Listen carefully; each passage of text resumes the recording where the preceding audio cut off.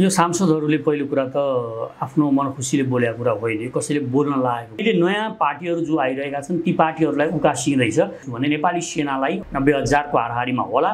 यसलाई कम्तीमा पनि तिन लाख बनाउनुपर्छ हामीमाथि आक्रमण हुँदैन भन्ने होइन। हाम्रा सिमानाहरू मिचिएकै छन्। भने अब योजनाबद्ध रूपमा नेपाललाई युक्रेन बनाउने उद्देश्य अनुरूप यो आएको छ। नेपालको अस्तित्वमा एकदमै सङ्कट उत्पन्न भएको छ। हाम्रो हालत भनेको युक्रेनको भन्दा पनि खतरनाक अवस्थामा अगाडि बढ्छ भन्ने विघटन गर्ने तहमा यो कुराहरू अगाडि बढ्छन्। अख्तियारमा पनि सेनाको जर्नलले अख्तियारमा प्रमुख बनाएर लानु र त्यो सदनमा भनेका दलालहरूको जमघट जस्तो भइसकेको छ अहिलेको सदन। पुण्य पर्छ हामीसँग हुनुहुन्छ। पुण्यजी स्वागत छ। हस् धन्यवाद सर। यो देशमा धेरै खालका विषयहरू चर्चामा छन्। मुख्य गरी अहिले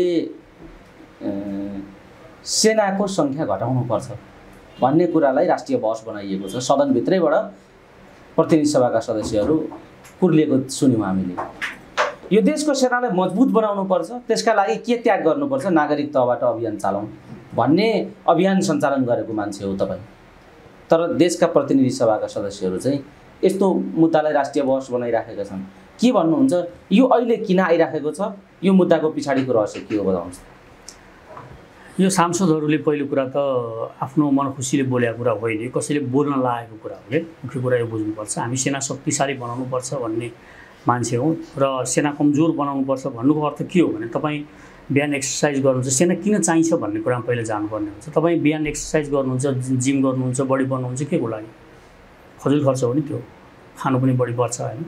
तर त्यो स्वास्थ्यको लागि हो। स्वास्थ्य र तपाईँलाई आत्मविश्वास उत्पन्न गर्छ त्यो कुराले। र देशको सेना भनेको चाहिँ स्वास्थ्य हो। स्वास्थ्य राम्रो हुनुपर्छ पहिलो कुरा होइन? र देशको सेना कमजोर हुनु भनेको चाहिँ नागरिकहरूमा आत्मविश्वास हुँदैन पहिलो कुरा होइन? त्यो कारणले गर्दाखेरि यो अहिले जुन सुनियोजित रूपमा आएको छ यो यत्तिकै आएको छैन। अस्ति चाइनिज रक्षा मन्त्री जङ्गी अड्डामा बसेको बेलादेखि उठाउन थालिएको छ होइन? त्यस पछाडि यसलाई अलिक उग्र रूपमा उठाउन थालिएको छ। र यसमा सुनियोजित योजना भनेको चाहिँ इन्डिया र प्लस अमेरिकाको छ। किन किनभने यिनीहरू बोलाइएका पात्रहरूको कुन पात्र बोल्दैछन् भनेर तपाईँले हेर्नुभयो भने पनि ती पात्रहरू तपाईँले देख्नुहुन्छ तिनीहरूको अनुहार। र अहिले नयाँ पार्टीहरू जो आइरहेका छन् ती पार्टीहरूलाई उकासिँदैछ र अरूलाई त सजिलै त्यसमा ल्याउन सकिन्छ भन्ने नै छ। सेना नेपाली सेनालाई कमजोर बनाउनुको अर्थ हो नेपालको अब एउटै एउटा सङ्गठित शक्ति भनेको नेपाली सेना नै हो। यो नागरिकता विधेयक पास गरिसकेपछि अब अरू कुरा बाँकी छैन। यो देशलाई कब्जा गर्नको लागि अरू धेरै कुराहरूको खाँचो छैन अब। नागरिकहरू जति पनि अब इन्डियनहरूलाई ल्याएर नागरिक बनाउन सकिन्छ उताबाट बोर्डरका छेउका हस्पिटलहरूमा जसलाई ल्याएर जसको पनि ज जन्मदर्ता त्यहाँ गराएको जस्तो देखाएर जसलाई पनि नागरिकता दिन सक्ने अवस्था रहेकै छ त्यो दस पन्ध्र वर्ष पछाडि हामी देखि नै हाल्छौँ त्यसको रिजल्ट। त्यो भइसकेपछि अब कहाँ आक्रमण गर्ने त भन्दा सेना रहिन्जेल उनीहरूको महत्त्वकाङ्क्षा आकाङ्क्षाहरू पुरा हुँदैन विदेशीहरूका। किनभने सिक्किममा यदि त्यो बेला धेर पनि पर्दैन केवल पाँच हजार मात्र सेना पनि सिक्किमसँग हुन्थ्यो भने इन्डियाले कब्जा गर्नुभन्दा अगाडि हजार पटक सोच्नु पर्ने त्यो बाध्यता त्यहाँ सिर्जना हुन्थ्यो र त्यो सेना भिड्थ्यो र त्यो बेलासम्ममा अन्तर्राष्ट्रिय स्तरमा उसले आफ्नो केही आवाज पुर्याउन सक्थ्यो। त्यो पाएन। त्यहाँका दलाल नेताहरू यस्तै हाम्रा अहिलेका जस्तै दलाल नेताहरूको कारणले गर्दा। र अर्को इन्डिया अब अहिले के छ भने अब अन्तर्राष्ट्रिय मुद्दाहरूलाई पनि हेर्ने हो भने तपाईँले के देख्नुहुन्छ भने अब चाइना रसारसँग बाध्यतावश युद्ध गर्नु परेको छ अहिले नाटोले होइन? तर अमेरिकाको अल्टिमेट उद्देश्य भनेको चाहिँ चाइना नै हो। चाइना नै शत्रु हो। चाइना नै घेर्नु छ। भनेपछि अब कहाँबाट चाइनालाई घेर्ने भन्दाखेरि नेपाललाई कब्जा गर्नुपर्ने उनीहरूको बाध्यता छ। यो बाध्यता यस कारणले छ कि यो क्षेत्रलाई कब्जा गरिसकेपछि टिबेट हुँदै उनीहरूलाई सजिलो पनि हुन्छ। र अहिले इन्डिया टोटल्ली अमेरिकाको छत्र छायामा गइसकेको छ। होइन? रसासँग पनि उसको अब अलिकति खटपट सुरु भएको छ चाइना र रसाको सम्बन्धको कारणले गर्दाखेरि। र अर्को एउटा महत्त्वपूर्ण कुरा के छ भने यो शान्ति मिसनमा जुन नेपाली सेनाहरू जान्छन् शान्ति मिसनको कुरा तपाईँले हेर्नुभयो भने अहिले नेपाली सेना दोस्रो वरियतामा आएको छ। युएनले त्यो भर्खरै प्रकाशित गरेको छ। दुई हजार एघारमा यो नौमा थियो हाम्रो नेपाली सेना र दुई हजार एकदेखि यो वरियता छुट्याउन थाल्दाखेरि अहिले बङ्गलादेश पहिलो र नेपाल दोस्रो छ। र इन्डियाले के गर्न खोजेको थियो भने इन्डियाले चाहिँ यो सार्क कन्ट्रीहरूको एकीकृत सेनालाई युएनमा लाने उसको नेतृत्वमा लाने भन्ने उसको परिकल्पना थियो। यो नेपाली सेनाले पनि मानेन बङ्गलादेशी सेनाले पनि मानेन। यो कारणले गर्दाखेरि अब शान्ति मिसनमा गइरहेपछि नेपालमा अत्याधुनिक हतियारहरू पनि आइरहने भए नेपालका सेनाहरूलाई ट्रेनिङ पनि अन्तर्राष्ट्रिय स्तरको भइरहने भयो। यो सबै कारणले गर्दाखेरि यो हुन दिनु हुँदैन। यो भइरह्यो भने भोलिका दिनमा नेपाली सेना इन्डियाको लागि घाँडो साबित हुन्छ भन्ने कुरा इन्डियाले बुझेको छ। र यहीलाई मध्यनजर राखेर अब यो सेनालाई ध्वस्त पार्ने उद्देश्य अनुरूप नै यहाँका अब टट्टुहरूलाई बोला बोलाउन लाग्न थालिएको छ।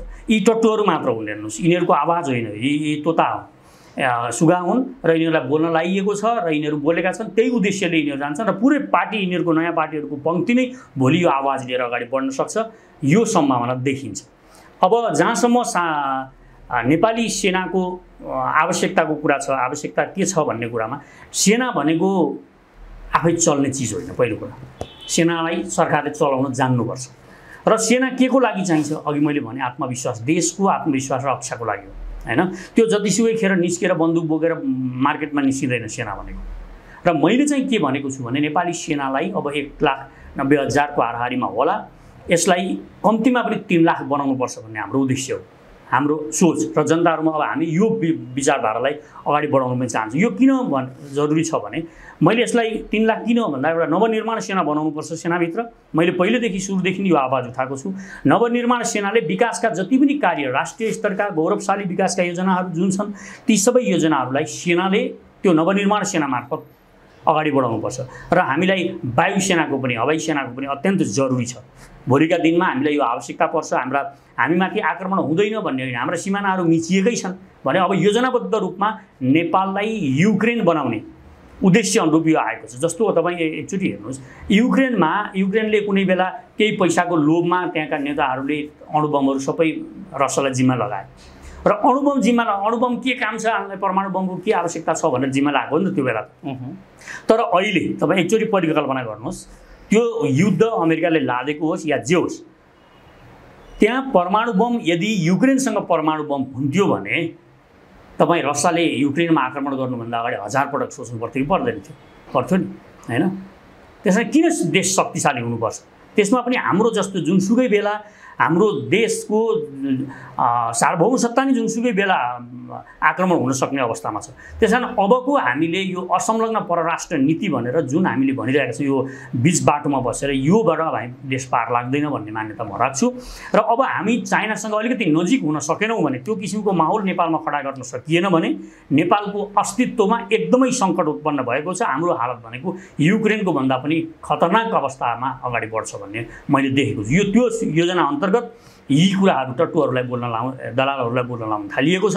उनीहरू बोल्छन् अब यो माहौल क्रिएट गर्छन्। अब अहिले एक किसिमको माहौल बन्दै जान्छ र अरू अरू पार्टीकाहरू पनि यसरी बोल्दै जान्छन्। बिस्तारै बिस्तारै जो दलालहरू छन् तिनीहरू पहिला आवाज दिन थाल्छन् र बिस्तारै माहौल निर्माण गर्छन्। मिडियाहरू मार्फत र सबै संयन्त्रहरू प्रयोग गरेर उनीहरूले माहौल निर्माण गर्छन् र त्यस पछाडि नेपाली सेना घटाउने र विघटन गर्ने तहसम्म यो पुग्छ। पछि नेपालमा किन चाहियो भनेर तपाईँ घटाउने मात्र कुरा हुँदैन। बिस्तारै यो विघटन गर्ने तहमा यो कुराहरू अगाडि बढ्छन् र नेपाली सेना विघटन गर्ने स्थितिमा पुर्याउन सक्छन् यिनीहरू त्यस कारण अहिले नै सचेत भएर हामीले अगाडि बढ्नु अत्यन्त जरुरी छ। जस्तो यो संवेदनशील कुरा तपाईँले राखिदिनु भयो यसको विश्लेषणको सन्दर्भमा।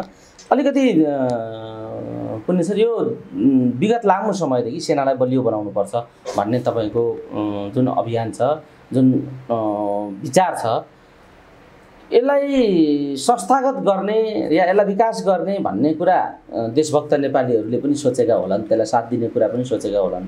तर यो राजनीतिलाई बदल्ने कुरा चाहिँ सोचेनन्। जो यो सेना घटाउनुपर्छ अर्थात् अन्तत विघटन गर्नुपर्छ भन्ने नै पेरिफेरीबाट अ, राजनीति चाहिँ प्रेरित भइराखेकै हो भन्ने देखिन्छ। बताउनुहोस् त यो राष्ट्रियताको मनोविज्ञानलाई स्थापित गर्ने सन्दर्भमा आवाज दिएर आएका नयाँ शक्तिहरूबाट यो जुन कुरा भनाइएको छ भनेर तपाईँले भन्नुभयो। अब आशा चाहिँ कहाँ गर्ने त राजनीतिक शक्तिहरूमा भन्ने खालको होइन राजनीतिक शक्ति आशा भनेको सधैँ जनतामा नै हुने हो हेर्नुहोस्। नागरिकहरूमै हुने हो होइन? कुनै पार्टी पार्टीका निराश। नागरिकहरूलाई राष्ट्रियताको चर्को कुरा गरेर आएकाहरू त आज यो भन्न थाले। भनेपछि राष्ट्रियताको कहाँ चर्को कुरा गरे यिनीहरूले? यिनीहरूले कहिले पनि राष्ट्रियताको कुरा गरेका छैनन्। जो नयाँ पार्टीहरू आइरहेका छन् यिनीहरू सुनियोजित हो तपाईँ हेर्नुहोस् यिनीहरूले राष्ट्रियताको सवालमा दुई शब्द पनि बोलेका छैनन्। यिनीहरू बरु उल्टै हामीहरूलाई अन्तर्राष्ट्रवादी विकासको ठुलो कुरा हो भन्दै कुरा तपाईँलाई तपाईँको स्वतन्त्रता नै छैन तपाईँ आफ्नो देश छैन आइडेन्टिटी छैन केही पनि छैन तपाईँ विकास विकास मात्रै भनेर त भएन। पहिला विकास गर्नको लागि पनि तपाईँसँग केही आधारभूत कुराहरू त चाहिन्छन् होला होइन? त्यो आधारभूत कुरा एउटा राष्ट्रमा हुनुपर्ने तपाईँ मुख्यमन्त्री बन्न चाहनुहुन्छ भने बेग्लै कुरा। अहिलेका नयाँ दलहरूले के बुझेका छन् भने यो विदेशीको दलाली नगरिकन हामी सत्तामा टिक्न टिक्ने रहेनछौँ भन्ने कुरा यिनीहरूले सानो उसबाटै थाहा पाइसकेका छन् होइन? थाहा पाइसकेको कारणले यिनीहरूको अबको उद्देश्य भनेको जसरी हुन्छ इन्डियाको र अमेरिकाको दलाली गर्नेमै अ, केन्द्रीकृत हुन्छन् यिनीहरू होइन? त्यो के को लागि भने आउँदो चुनावमा विदेशीहरूले हामीलाई पनि नजरमा पारौँ हामीलाई पनि उठ्नमा सहयोग गरौँ होइन? नेपाली जनताहरूलाई भ्रम पार्नमा हामी सक्षम छँदैछौँ भने अब त्यहाँबाट पनि हामी अगाडि बढ्यौँ भने हामी भोलि प्रधानमन्त्री नै बन्छौँ। हामी नि भोलि सत्ता सञ्चालन गर्न सक्छौँ भन्ने तहको सोच यिनीहरूमा आएको छ भनेको यो राष्ट्रघाती सोच यिनीहरूमा आएको छ। जसरी हुन्छ सत्तामा पुग्नुपर्ने सोच आएको कारणले यी सबै कुराहरू ती नयाँ पार्टीहरूमा आइरहेको हामी देख्छौँ। र ती नयाँ पार्टीका मानिसहरूका नागरिकहरूको जति छन् तिनीहरूलाई थाहा नहुन सक्छ।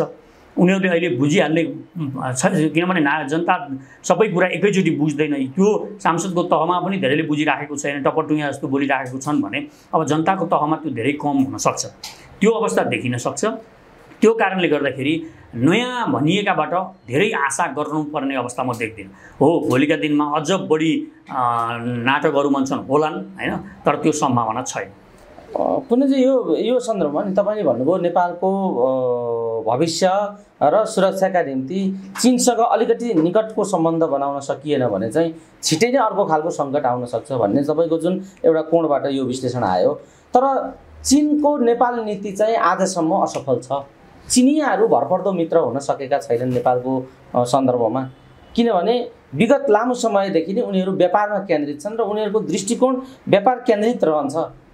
भन्ने खालको कोणबाट चिन चिनिया पक्षलाई बुझ्ने र हेर्ने कुराहरू पनि हाम्रो समाजमा छलफलमा आउने गरेका छन्। बताइदिनुहोस् त चिनियाहरू राष्ट्रियताको हाम्रो राष्ट्रियताको सन्दर्भ त नेपाली जनताको राष्ट्रियताको कुरा हो तर छिमेकसँगको सम्बन्धको सवालमा चिनियाहरूसँग भर गर्नुपर्छ या अलिक निकट सम्बन्ध हुनुपर्छ र मात्रै हाम्रो हाम्रो हित हुन्छ? भन्ने खालको कुरा जो तपाईँले गर्नुभएको छ उनीहरू त व्यापारको कोणबाट मात्रै डिल गरिरहेका छन् आजको संसारसँग भन्ने उति नै चर्चा उठेको छ। अब व्यापारको स्वार्थ त हाम्रो थोरै जनसङ्ख्या भएको मुलुकले उनीहरूको व्यापारिक स्वार्थलाई धान्न पुरा गर्न सक्ने स्थिति छैन। त्यस कारणले उनीहरूको स्वार्थ र हाम्रो स्वार्थ नै मिलिराखेको छैन। उनीहरूको नेपाल नीति असफल छ भन्ने कोणबाट अहिले चर्चा उठ्ने गरेको छ? बताइदिनुहोस् त तपाईँ यो बारेमा के भन्नु पहिलो कुरा त व्यापार सबै राष्ट्रले व्यापारै गर्छ हेर्नुहोस् पहिलो। अमेरिका अमेरिका अहिले रसियासँग युद्ध गर्दैछ। के कारणले गर्दैछ?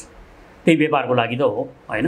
अहिले इन्डिया र आफ्नो देशको हितमा सोच्दाखेरि बढी आफ्नो देशको हितमा सोच्दाखेरि हुने कुराहरू हुन् जुन तपाईँले भन्नुभएको छ व्यापारको कुरा। हामीले पनि उनीहरू व्यापारको कुरा गर्छन् भन्दा हामीलाई के घाटा छ? हामी पनि व्यापारको कुरा अगाडि बढाउनु पाइयो नि त व्यापार। तपाईँ एउटा देशसँग मात्र सम्पूर्ण रूपमा परनिर्भर बन्नुहुन्छ भने भोलिका दिनमा तपाईँको स्वतन्त्रता कायम रहन सक्दैन। जस्तो इन्डियासँग अहिले हामी एकल रूपमा इन्डियासँग मात्र जोडिनुपर्ने बाध्यता हामीले जुन सिर्जना गरेका छौँ यो देशमा घुमाइफिराइकन यो नै हाम्रो लागि सबैभन्दा ठुलो अभिशाप हो। हाम्रो स्वतन्त्रता जाने हाम्रो सार्वभौम सत्ता जाने भनेकै त्यही कारणले हुन्छ। त्यस कारण हामीले चिनसँग पनि त्यति नै व्यापार गर्नुपर्छ जति हामी भारतसँग गर्दैछौँ। त्यो जरुरी छ। र हामीले बेच्ने सामानहरू पनि हामीले चिनसँग जुन भारतसँग हामीले गल्ती गरिरहेका छौँ त्यो किसिमको चिनसँग गरिनु हुँदैन। त्यो गल्ती नगरिकन हामीले पारवानदेखि लिएर सबै उताबाट पनि हामीलाई बाटो हुने यताबाट पनि हुने हो भने त। इन्डियाको दबाब यो रूपमा नेपालमा पर्दैन पनि थियो होइन? त्यो कारणले गर्दाखेरि व्यापार सबैले हेर्ने हो। मैले भन्न खोजेको के हो भने उनीहरू चाहिँ ठुलो जनसङ्ख्याको हिसाबले हेर्छन् र भारतीय आँखाले हेर्छन् चिनियाहरू नेपाललाई पनि भन्ने खालका चर्चाहरू पनि हुने गर्छ। होइन, हाम्रो सन्दर्भसँग मैले त्यो तपाईँ चाहिँ हाम्रो चरि चारित्रिक स्खलनको कारणले भएको हो। हामी किनभने अडिन सक्दैनौँ। जुन कुरा बोल्छौँ जुन कुरा हामीले गर्छौँ सन्धि सम्झौता गर्छौँ त्यसमा हामी अडिँदैनौँ। होइन? भारतको एउटा सानो दबाब आउने बित्तिकै हामी ती परियोजनाहरू सबै इन्डियालाई सुम्पनको लागि तयार हुन्छौँ। इन चाइनासँग सारा सम्झौताहरू तोड्छ। भइआएको चाइनाले। एउटा एयर एयरपोर्ट बनाइदिएको हो। त्यो एयरपोर्टमा अहिले सबै देशका दलालहरू इन्डियन दलालहरू के भनेर लाग्छन् भने हामीलाई यत्रो पचास सय वर्षमा पनि यसबाट खर्च धान्दैन यसले यो के गरेको हो? यो देश डुबाउने खेल हो भनेर भन्छन् यो देशमा सबैभन्दा यातायातको कुरा गर्दाखेरि सबैभन्दा बढी चाहिने आवश्यकता आवश्यक चिज भनेकै एरो एरोप्लेन हो। हेर्नुहोस्।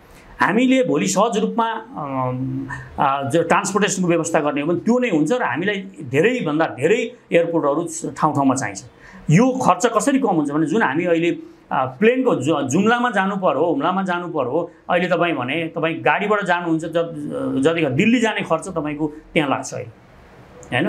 भनेपछि त्यो के को लागि हो त भन्दाखेरि यो सुनियोजित रूपमा आएका कुराहरू छन्। त्यस कारण चाइनाले नेपालसँग व्यवहार गर्न चाह्यो भनेर नेपालले तर्सिनुपर्ने होइन। हामीले पनि व्यापारिक पोलिसीहरू दिनुपर्छ।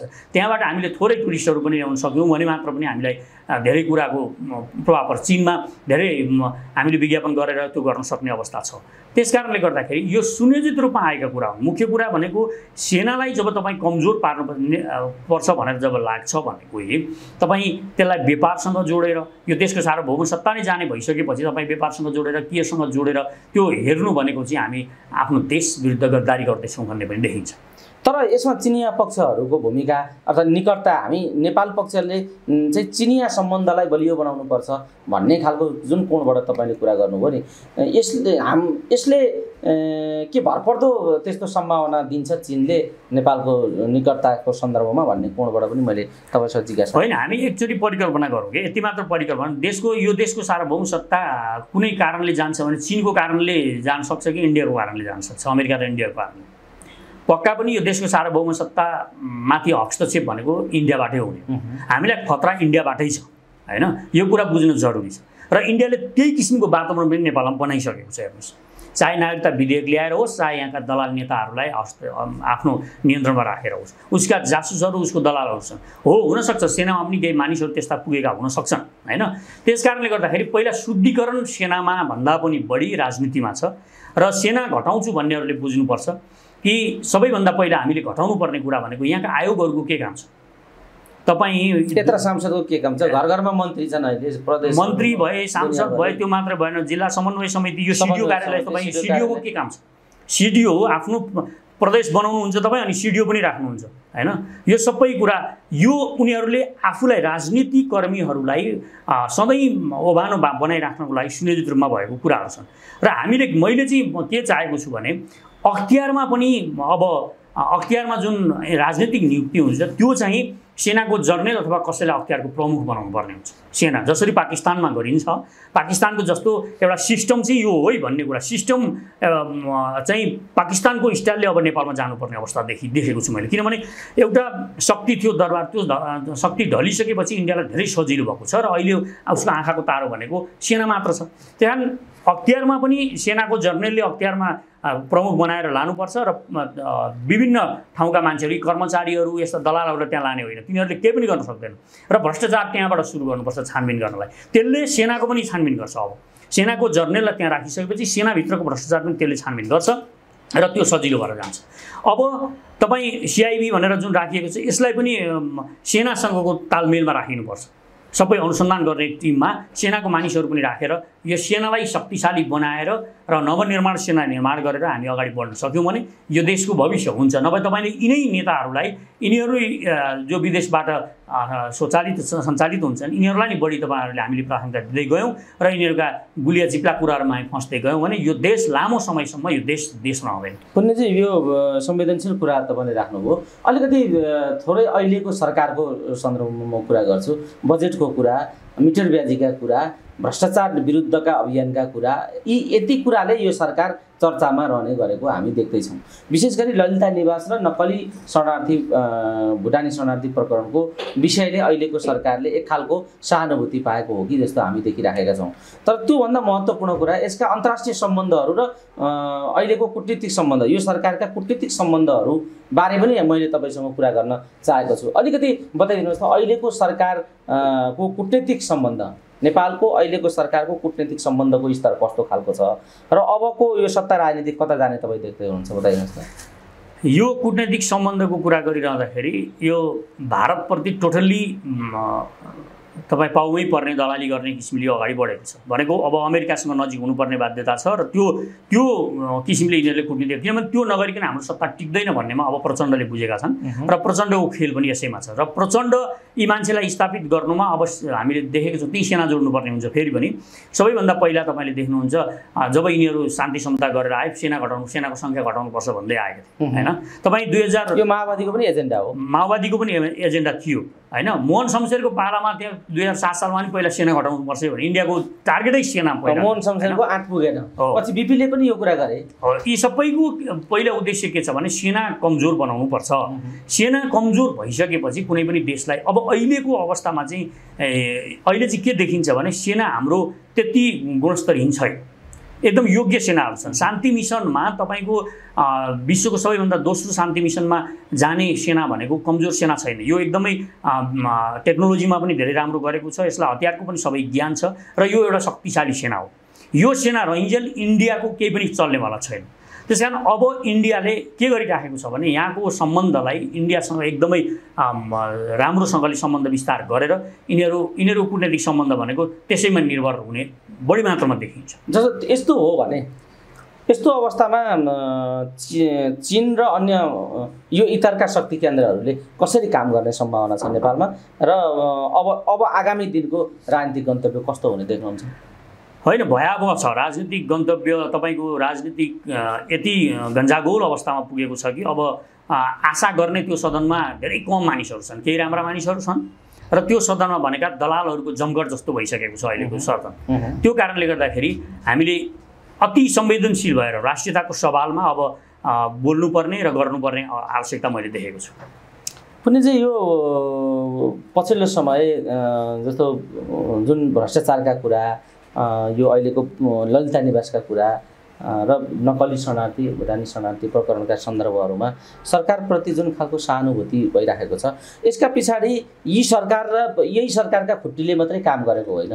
यसका पछाडि केही न केही यिनै पावर सेन्टरसँगका सरकारले पनि काम गरिराखेको छ र यहाँ निहित एउटा गुह्य उद्देश्य पुरा गर्ने कुरा पनि यहाँ आकर्षित छ भन्ने आलोचनाहरू र टिप्पणीहरू पनि हामी सुन्ने गर्छौँ। बताइदिनुहोस् त तपाईँलाई पहिलो कुरा के भ्रम नपरौँ भने यो सरकारप्रति सहानुभूति छ यिनीहरूले यो गरे भनेर यो कुरा सत्य होइन। यो एकदमै झुट कुरा अफवाह फैलाइएको मात्र हो। केही पनि छैन।